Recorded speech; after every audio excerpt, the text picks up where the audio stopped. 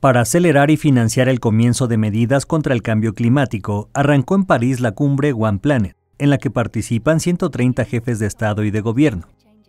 Dos años, día por día, después de la exitosa reunión de París que desembocó en la adopción del tratado más ambicioso de la lucha mundial contra el cambio climático, la Ciudad Luz acoge una nueva cumbre para impulsar el acuerdo, del que Estados Unidos anunció su salida y para relanzar financieramente la iniciativa. La reunión ha sido organizada a iniciativa del presidente de Francia, Emmanuel Macron, que pretende que su país mantenga liderazgo en la lucha contra el calentamiento global. Hace dos años, exactamente el 12 de diciembre de 2015, París dio nombre a los acuerdos más ambiciosos sobre esta materia que fueron alcanzados en la COP21, reunión organizada bajo los auspicios de la ONU.